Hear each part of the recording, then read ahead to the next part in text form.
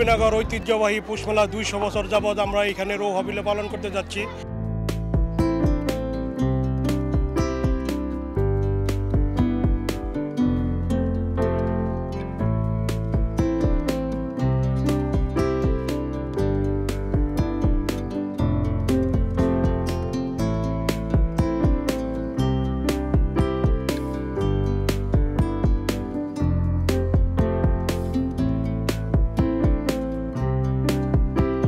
পুষ মেলায় আমরা কিছু আইটেম খেলার আয়োজন করি।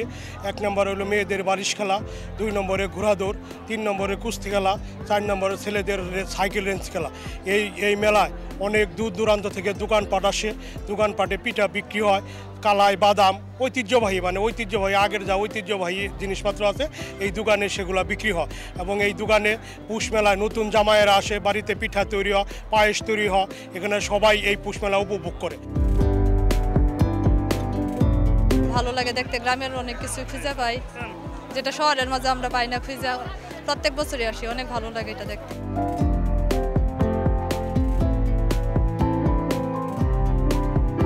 এখানে এসে আমার অনেক ভালো লাগল আর অনেক জিনিস বসছে যেগুলো থেকে আমরা কেনাকাটা করলাম আমাদের প্রয়োজনীয় জিনিস পেলাম।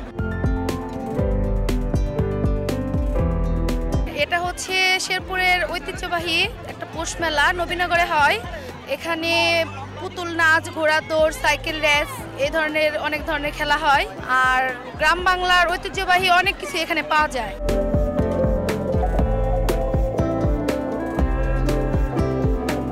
এখানে আসে অনেক ভালো আসে, এখানে মেলা হয়।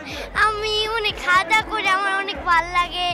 আমার আপনি আসে।